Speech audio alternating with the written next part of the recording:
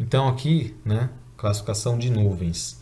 É, isso também, assim, rapidamente, tá, pessoal? Tem vários nomes, boa parte deles às vezes né, entram em detalhes. A gente vai ver que as nuvens são classificadas basicamente tanto pela forma, tá? Então a gente tem as nuvens aqui cirrus, né?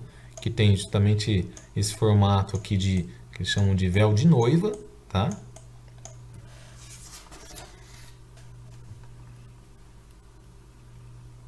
Lembra como se fossem fibras, né? Tem as, as, as nuvens tipo cúmulos, né? Que são esses floquinhos aqui. Tá ok? E por fim tem as, as nuvens do tipo estratos, né? Que são camadas, então elas são mais uniformes, mais contínuas e cobrem uma área maior. Tá ok? E as nuvens também podem ser classificadas em termos de altitude, tá? Então tem as nuvens altas, as nuvens médias e as nuvens baixas, tá? E essa é uma classificação de alguns tipos de nuvens, né? As principais, tá? Pensar assim, no passado, né? As previsões, enfim, se olhavam-se, né, observavam-se muito as nuvens para tentar identificar se a, se a chuva estava chegando ou não. Então, justamente, naquela época não tinha né, satélite para saber, né?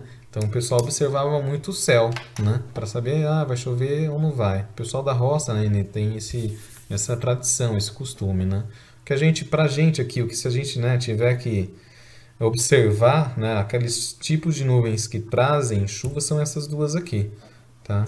Essas nimboestratos são essas nuvens aqui mais baixas, né, que trazem chuvas mais leves, mais duradouras, e essas nuvens que têm um, né, um desenvolvimento vertical bastante, né, são as que trazem tempestades, são chuvas fortes, tá ok? Bastante raios associados a essas tempestades. E essas nuvens cirros, né, de altitude, elas eventualmente indicam que a chuva está se aproximando, mas não necessariamente, é só um indicativo, tá, pessoal? E aqui a gente vai ter algumas, né, essas cirros no formato de halo, Pode ser tanto o halo solar quanto o halo lunar. Na última aula a gente vai mostrar algumas fotos dessa daqui.